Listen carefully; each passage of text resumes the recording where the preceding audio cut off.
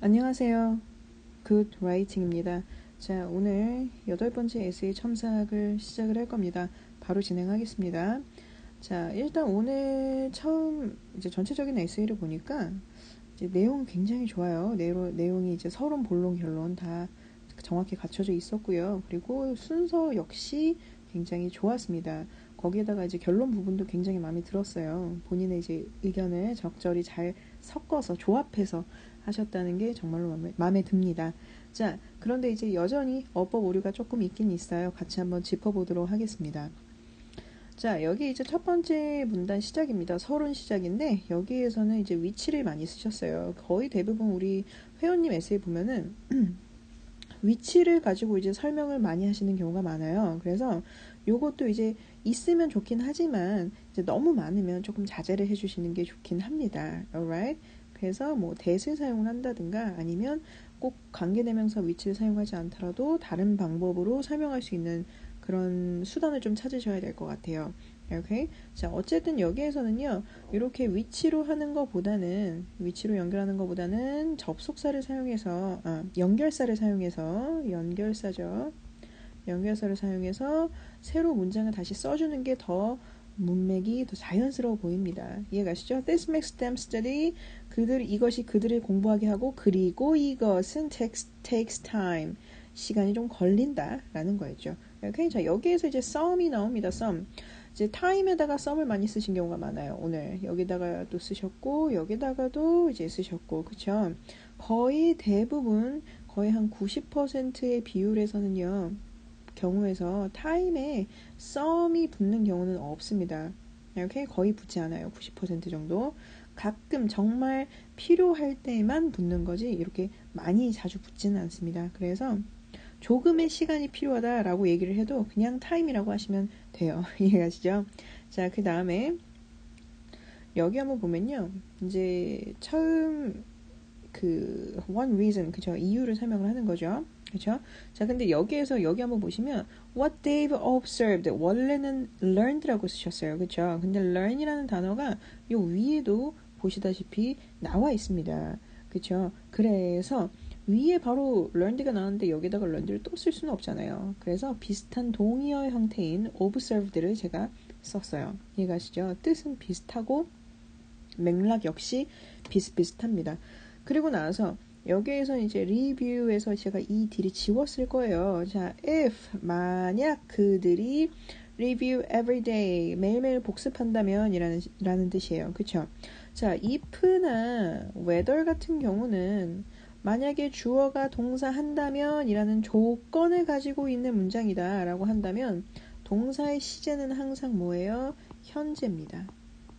이해가시죠? 요거 기억하시고 요거 요거를 이제 제가 몇 번 잡아드렸던 것 같은데 가끔씩 헷갈릴 때 있어요. 하지만 그 어지간하면 좀 그 조건절 그쵸? 조건이라는 이런 if를 사용해서 문장을 쓸 때 기억하셔서 오류가 생기지 않도록 노력하시는 게 좋겠습니다. 자, 그 다음에 보면요. 음, it also prevents the students from 자, 요거를 하는 거를 요거 하는 것으로부터 학생들을 못하게 방, 그 방지하고 그렇죠? And staying up all night 원래는 at night이라고 하셨는데 밤을 새다라고 할 때는 all night이라고 그냥 얘기를 하시면 돼요. Stay up all night 여기 여기 제가 메모를 해놨죠? 이렇게 자, 그 다음에 여기에 보시면요. 자, 또 다른 이유가 나옵니다. 그쵸? 자, another reason is that the teachers can determine. 자, 원래는 teachers know라고 하셨어요. 그쵸? 근데 사실 요 정도 에세이 쓰게 되면은, 에세이를 쓰게 되면은, 어, 어휘 선택이 굉장히 그 에세이의 난이도에 많은 영향을 준다라는 걸 아실 수 있을 거예요. 그렇기 때문에 이제는 우리는 1차원적인 좀 단순한 어휘들보다는 이제 슬슬 조금씩 좀 이런 단어들보다는 조금 더 난이도가 높은 그런 단어를 쓰기 시작할 겁니다. 그리고 저도 그거 위주로 교정을 해드릴 거고요. 그래서 determine 같은 경우는 know랑 동의어 사이기 때문에 determine이라는 단어로 바꾸시는 게 좋을 것 같고요. 그래서 that the teachers can determine how well 자 원래는 how much a student understood 이렇게 적으셨는데 얼마나 다, 잘 하는지라는 뜻이 되려면 how well 얼마나 잘 the student, the student 그 학생이 이해했는지, 그쵸? 이해했는지 determine, 해, determine 할 수 있다. 그쵸? 이렇게 되는 거죠. 그 다음에, 자, 요거 제가 좀 지워 볼게요. 음, 좀 지워보고, 자, 다시 설명하겠습니다. 자, no의 동의어 determine으로 바꿨고요. 그 다음에, 자, 얼마나, 음, 여기 보시면, 여기 보시면, 요걸 제가 안 썼네, 안 썼네요. 얼마나 주어가 동사를 잘 하는지라고 쓰시려면 how well 주어 동사 형태로 쓰시면 돼요. 이해가시죠? 자, 다시 한번 얼마나 주어가 동사를 잘 하는지 그쵸? 잘 하는지 얘기를 하려면 how well 주어 동사 형태를 쓰시는 게 좋습니다. 이해가시죠? 자, 요게 음, 이게 요 부분으로 가 있네요. 원래는 여기가 이제 원래는 이 자리가 아니었던 것 같은데 여기 위에서도 이제 한번 나왔기 때문에 요 well도 여기 한번 더 나왔어요. 그렇기 때문에 제가 여기다가 이제 필기를 해놨습니다. 요거는 굉장히 쓸 빈도가 많을 거예요. 외워두세요. How well 주어 동사는 얼마나 주어가 동사를 잘 하는지, 그쵸? 하는지, 했는지, 할 것인지, 하는 중인지, 그쵸? 여러 가지 이제 시제는, 해석은 시제에 따라 바뀌고요. 그리고 이제 이 well이랑 바꾸실 수 있는 건 how perfectly, 그리고 how properly. 비슷한 뜻이 있습니다. 그러나 조금 더 정확한 뜻은 얼마나 완벽히 주어가 동사하는지, properly면은 얼마나 정확하게 주어가 동사하는지, 이렇게 되겠죠. 요거 이제 해석에 따라서 들어가는 단어도 다르긴 하지만 거의 전체적으로 다 비슷한 맥락이라는 거 기억하시면 되겠습니다. 자, 그 다음에 여기에 보시면요. 원래는 understand about the lesson이라고 하셨는데 요것도 약간 좀 심플하죠. 그렇죠? 심플하기 때문에 제가 지웠고요. 뭘로 바꿨어요? lecture이라고 바꿨습니다. lesson이랑 클래스랑 다 수업이란 뜻을 가지고 있어요. 그쵸? 자, 요거 세 개는 같이 세 같이 붙는다고 생각을 하세요. lesson, class, lecture 이렇게 세 개 돌아가면서 한 번씩 쓰시면 됩니다. 이해가시죠? 자, 그 다음에 이제 여기에 보시면요. 이제 know보다는 determine이라는 단어를 활용하는 걸 제가 추천한다고 써놨어요. 그런데 determine도 역시나 유사한 단어들이, 유의어들이 많이 있습니다. 그러나 잘 보시면 뜻이 조금씩 조금씩 달라요. 그쵸? 그렇기 때문에 이런 거는 때에 따라 문맥에 따라서 알맞은 어휘를 선정하여 사용할 것 요거는 암기를 여기는 다 파란 글씨들은 다 암기를 해 두시고 대신에 때에 따라 알맞은 단어를 사, 사용하시는 게 좋을 것 같아요. 이해가시죠? 자, 요 밑에 부분 보시면요. 여기에서는요. 음, 원래는 이렇게 문장을 조금 어렵게 쓰셨던 것 같아요. 그러니까 요걸 쓰시다가 조금 어, 헷갈렸던 것 같아요. 제가 보기에는. 그래서 이 부분은 제가 좀 다시 정리를 했거든요. 다시 정리를 했는데 그렇게 문장을 어렵게 쓰진 않았어요. 왜냐면 어쨌든 요렇게 하는 거는 요 행동은 불, 요 위에 있는 거죠. 그쵸? 요 위에 있는 행동들이, 행동들은 선생님이, 그쵸? 선생님의 목표는 아이들이 정확하게 이해가, 이해를 하도록 수업을 하는 건데, 사실 이거는 그러나 사실 이거는 불가능해. 그쵸? 왜요? 뭐 하지 않는 이상 선생님들이 애들 모두 개개인한테 수업에 대해서 얘기하기 전, 물어보기 전까지는 그리고 the time is limited 그리고 모두 있어요. 시간도 정해져 있기 때문이잖아. 그쵸?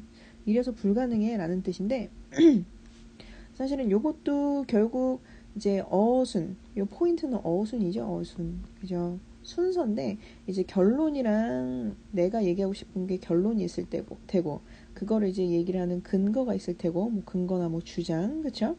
자 문장에서는 결론을 먼저 얘기를 합니다. 어쨌든 A 1, 1 더하기 1은 2야. 자, 요런 거는 굉장히 객관적이죠. 그쵸? 근데 옛날에 숲 속에 1이라는 존재가 살았대. 그런데 그 숲에, 숲에서 100만 킬로 떨어진 곳에 떨어진 곳에 강에 1이라는 애가 또 살았대. 자, 1과 1은 1과 1이 더해져서 2가 되었대. 이렇게 이제 이야기를 끝까지 이제 들어야 되는 거잖아요. 이런 거는. 그렇죠? 말이 말이 이렇게 길게 나가는 거. 그러니까 혹은 결론이 제일 끝에 가 있어서 이야기를 끝까지 들어봐야 아는 거. 그렇죠? 이런 거는 한국말의 전형이에요. 한국말의 특징이에요. 근데 영어는 그렇지 않아요. 결론부터 이야기를 합니다. 그래서 영어 같은 경우는 어떤 형태로 하냐면 야 얘네 이야. 왜냐면 저기 그 저쪽 저 멀리 있는 그 강에 살던 그 1이랑 여기 산속에 거기서 100만 킬로 떨어졌던 그 1이랑 같이 합쳐져서 이렇게 됐대. 2가 되었대. 응 합쳐져서 야. 이렇게. 결론부터 먼저 얘기를 하는 거죠. 그래서 저도 그거를 항상 먼저 생각을 해요. 쓸 때. 그래서 항상 어쨌든 이게 불가능한지 안 불가능한지 먼저 써주시고요 It is not possible to happen. 그죠? 뭐 그러지 그러고 나서 이제 요 조건을 뒤에다 써 주시면 돼요. 이해가시죠? 자 그래서 이제 두 가지 문장이 다 중요해요. 내 기준에서는 1번 문장도 중요하고 2번 문장도 중요하지만 조금 더 결론에 결론에 가까운 것이 어떤 문장인지 파악을 해서 요 요걸 먼저 써주는 게 제일 중요합니다. 이해가시죠? 자, 그 다음에 그래서 이제 요거 해석은요. 그러나 이런 것은 불가능하다. 그들이 학생 개개인에게 직접 물어보지 않는 이상 뭐에 대해서 수업에 대해서 그리고 시간이 한정되어 있다면 그렇죠? 자, 그 다음에 요 다음 거 한번 보겠습니다. This can be solved by checking. 자, 원래는 good looking이었어요. 그쵸? 보는 걸로 해결될 수 있다. 있다라고 얘기를 하셨는데 사실 이 looking보다는 사용법이 이제 좀 오류가 됐죠. 의미가 좀 달라요. 그렇죠? look은 이제 확인하다라는 뜻도 있긴 있어요. 맞습니다. 하지만 요 근본적인 요 체크랑은 조금 느낌이 좀 달라요. 그러니까 이 체크는 내가 꼭 해야 할 의무예요. 근데 이 look 같은 경우는 확인해보다라는 뜻도 있어요. 그렇죠? 확인해보다라는 뜻도 있지만 의무보다는 그냥 나의 선택이에요. 내가 할 수도 있고 안 할 수도 있고 해도 나한테 별로 이득도 없고 안 해도 그러다지 불, 불이익은 없는 나의 오로지 나의 선택에 달라, 달린 거예요. 근데 이 체크라는 거는 체크라는 거는 이걸 안 하면 나한테 불이익이 있을 수 있다는 게 좀 뉘앙스가 커요. 이해가시죠? 그래서 check your email 이렇게 이런 식으로 이제 얘기를 하잖아요. 어떤 서류를 접수 그 접수를 하고 나서 사실은 여기다가 그냥 take a look 그냥 이렇게 해도 상관없어요. 근데 이게 의미라는 요 체크라는 단어에 의무라는 의무와 책임이라는 그런 뉘앙스가 들어갔기 때문에 들어가서 항상 체크를 쓰는 겁니다. 결국에는 이제 이게 원래 영어의 그 영어 단어에 결정되는 그런 순서였어요. 의를 그 정의였어요, 정의. 이해가시죠? 자, 그래서 우리도 이제 신용카드라든가 뭐 체크카드라고 할때이 체크를 쓰죠. 그렇죠? 그리고 이제 신뢰, 신용에서 신용기관 신용기관이라면 뭐 이제 은행이라든가 그쵸? 그런 걸 얘기를 하겠죠. 그런 신용기관에서도 요 체크라는 단어를 사용하죠. 그쵸? 자, 요거는 약간 다른 거였고요. 자, 어쨌든 체크 사, 루킹의 사용법이 오류가 되어서 오류가 발견되어서 체킹으로 곧 교체를 했습니다. 자, 그리고 나서요. 여기에 보시면 음 요건 이제 아까 위에 설명했던 부분이니까 넘어갈게요. 자, 여기에서 원래는 the teacher would know what the students didn't understand. 그렇죠? What the students didn't understand and 그리고 나서 reteach that topic. 자, reteach 한번 볼게요. reteach the topic은요, 오류는 없어요. 그쵸? 네, 오류는 정말로 없습니다. 그런데 흔히 많이 쓰이지 않는 형태이므로 give additional training 이라는 것으로 대체했습니다. 자, give additional training 같은 경우는 무슨 뜻이냐면 추가 학습 훈련이나 보충 수업의 개념과, 개념과 비슷합니다. 운동 선수에게 additional training이면 훈련이겠고요. 사, 그 공부하는 사람한테 additional training면 보충 수업이겠죠. 그쵸? 자, 그 다음에 여기서 보면요. Finally, 자 마지막 겁니다. 그쵸? 자, students who will study the subject. 원래는 topic이라고 말씀하셨어요. 그런데 큰 맥락으로 보면 topic보다는 subject가 사실 더 적절합니다. 애들이 공부를 하는 거니까. 그쵸? 자, 알맞은 어휘 사용에 유의하시고요. 자, 요 뒤에 거 한번 보겠습니다. In class, 수업에서 students, 학생들은 learn things, 뭔가를 배워요. 그러나, 자, 여기서는 뭐라고 쓰셨냐면, learn, 배우, 그, 뭔가를 배워요. 그리고 don't really study, 공부를 하지 않아요. 라고 쓰셨어요. 그쵸? 근데 요거보다는 조금 더 세부적인 사항이 필요할 것 같아요. 세부적인 상황 설명이요. 그래서 정말 learn things but and don't really study 이렇게 얘기해, 얘기해버리면 어, 배우긴 배우는데 공부를 안 해 라고 얘기를 하면 야 공부를 안 하는데 어떻게 배워? 라는 질문이 나올 수가 있어요. 그렇기 때문에 이렇게 설명하면 너무 두루뭉실하고 개념이 정확하지 않기 때문에 어떤 방식으로 설명을 해야 되냐면 요것처럼 말씀을 하셔야 됩니다. 자, 해석 한번 해볼게요. 자, they they can't study. 자, students learn things. 그들은 뭔가를 배워요. 하지만 they can't study study them. 그들은 그것들을 공부할 수 없어요. during the class. 수업 중에는요. 왜냐하면 the time to review the lecture the time to review the lecture. 그러니까 공부를 복습할 수 있는 시간은 is essential. 굉장히 중요하기 때문이야. When it comes to studying. 공부에 있어서는. 그죠? 그러니까 수업 시간에 여기에서 좀, 박, 좀 말이 좀 이상하다 싶으면 수업 시간에 제대로 공부할 수 없다라는 거를 뭐 수업 시간으로만 수업 시간에 공부하는 선생님한테 수업을 받는 걸로만은 어, 충분하지 않다. 라는 걸로 이제 문장을 좀 바꿔도 되겠죠. 그렇죠? 그래서 자, 그러면 어떻게 돼요? Students learn things. 그렇죠? Students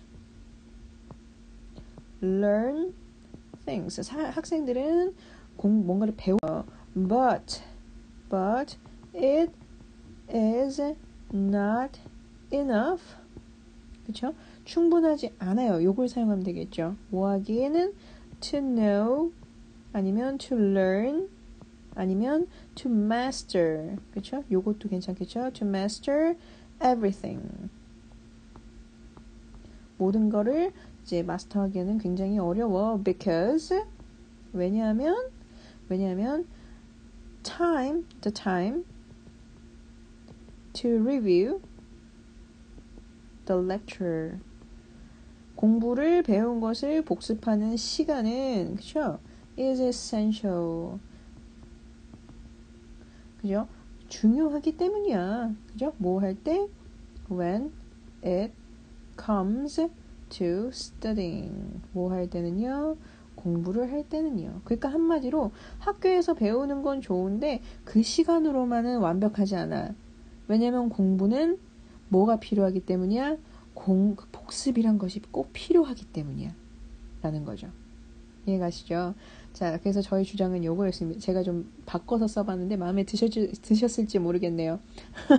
어쨌든 요런 형태 요거 요런 거 있잖아요. 이렇게 문장 장문하는 거 요것도 굉장히 많이 쓰이는 표현이거든요. 그래서 요 형태를 많이 좀 외우시는 게 좋을 것 같아요. 자, 그리고 when it comes to studying 이렇게 나와 있는 거 보이시죠? 자, 뭐뭐에 있어서는 ing 하는 것에 있어서는 이라고 해석하시면 돼요. 오케이? 자, when it comes to meeting you 이러면 너를 만나는 것에 있어서는 이라고 해석하면 되겠죠. alright? 자, 다음 거 마지막 부분 넘어가도록 하겠습니다. 자, 마지막 이제 결론 부분인데 여기서도 조금 오류가 좀 많아요. 자, concluding 자, 요약을 합니다. There are lots of reasons to do. 아무래도 to에다가 동사 원형 넣으셔야 되는데 빠지 빼먹으신 것처럼 보여요. 그 다음에 daily homework가 아니라 daily homeworks 복수 형태로 말해주는 게 조금 더 자연스럽습니다. 그리고요, it is normal for students. 자, 여기에서는 to not이 아니고 원래는 to 부정사의 그 부정형 하지 않는 것 이렇게 얘기할 때는 not이 앞에 붙습니다.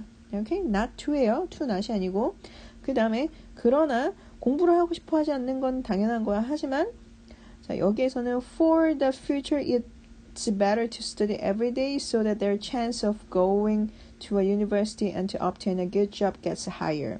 자, 어쨌든 공부를 하는 게 더 낫다. 미래를 위해서는 그래서 그들이 대학교도 좋은 데를 가고 취직도 좋은 좋은 데로 취직할 수 있기 때문이다. 그쵸 이런 형태로 이제 쓰셨던 것 같은데 요거보다 조금 더 효율적으로 쓸 수 있는 방법이 있어요. 자, 어쨌든 본인이 생각하기에 university 좋은 대학교랑 좋은 직장을 갖는 거는 어떤 삶이에요? 아주 성공적인 삶일 거예요. 그렇죠? 애들한테 공부를 하라는 이유가 얘기를 하는 게 뭐예요? 성공적인 삶을 살라고 그렇게 얘기하는 거잖아요. 그렇죠? 그래서 since a successful life 그래서 성공적인 삶은 requires 요구하기 때문에 뭐를요? lots of studying and preparing 많은 공부와 준비를 그래서 그렇기 때문에 한 번 더 본인의 의견을 강조하는 겁니다. Doing homeworks 숙제를 하는 것은 will surely make 확실하게 만들 것이다. the opportunity 기회를 뭐 할 수 있는 기회인가요? to go to a university and to obtain a good job. 아주 좋은 직업을 갖고 대학교에 좋은 대학교로 갈 수 있는 뭐를 opportunity 그죠? 기회들요. 그죠? 근데 사실은 이제 여기에서 이제 opportunity가 아니라 opportunities가 되어야 됩니다. 제가 수정을 잘못했네요. 요거는 이제 고쳐서 써주세요. 자, 그래서 요 밑에다가 이제 순서를 헷갈리실까봐 제가 좀 써놨어요. 요거는 보고 참고를 하시고. 그러니까 어쨌든 요 위에처럼 말을 하게 되면서 나의 의견을 한 번 더 강조하게 되는 거죠. 자, 그 다음에 여기에서는요, 음, 요것도 원래는 이제 one need, and가 있으니까 그냥 주어를 요 앞에다가 한 번만 써놓고 이제 주어는 이것도 이것도 하고 요것도 한다 뭐 이런 식으로 이제 쓰셨던 것 같아요. 그런데 요거보다는 조금 더 그냥 좀 자세하게 주어 그냥 넣어, 넣어서 완벽한 문장으로 쓰시는 게 좋을 것 같아요. It will allow 허락할 것이다. them 그들이 뭐 하도록 to know what learning is 그죠?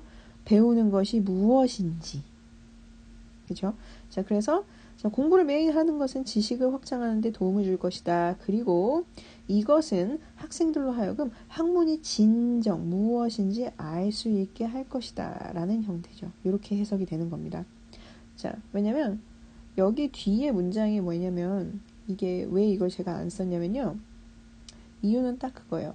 여기에는 이제 you want it to relearn, relearn이죠. relearn a topic. 다시 배울 수, 배울 필요가 없다고 말씀하셨는데 사실은 우리가 초등학교 때 배웠던 게 중학교 때 조금 더 큰 개념으로 나오고요. 중학교 때 배웠던 게 고등학교 때 조금 더 큰 개념으로 나와요. 그리고 고등학교에서 모두 배운 것들은 대학교 가서 기반이 되어요. 그렇기 때문에 다시 배울 필요는 없, 다시 배운다는 표현이 사실은 조금 안 맞는 거죠. 왜냐면 애초에 우리는 다 배운 적이 없거든요. 배운 걸 끝낸 적이 없어요. 이해가시죠? 우리는 계속 우리가 배웠던 걸 가지고 그걸 토대로 다시 새로운 걸 배우고 있기 때문에 우리는 배운 걸 아직 끝낸 게 아니에요. 이해가시죠? 그렇기 때문에 re, relearn 요거는 약간 어휘가 좀 안 맞죠. 그렇기 때문에 제가 어떻게 고쳤다고요? They will, they, it, it will allow them to know. 그 알게 할 것이다. 그쵸? What learning is. 배우는 게 무엇인지. 그쵸? 자, 그리고 나서 이제 마지막 딱 마무리 해야 되겠죠. 그러므로, 그러므로 다시 한번 마무리를 합니다.